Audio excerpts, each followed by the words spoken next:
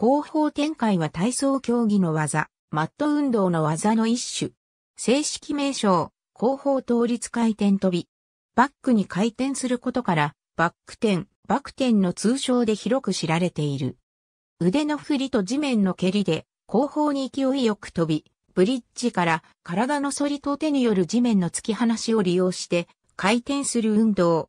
これに対して前方に行う技として、前方倒立回転飛びがある。細部は競技によって異なる。男子床の場合は両足で同時に着地、女子床、平均台の場合などは足を交互に着地することもある。補助法、練習法、使用器具は競技やクラブによって異なる。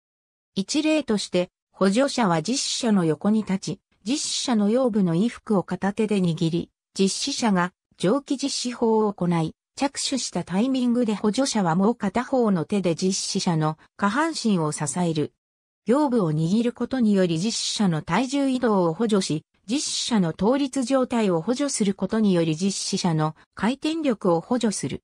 その他に、二人組で背中合わせになり、補助者は実施者の手首を持って後方に倒しながら、後方倒立回転を行う方法もある。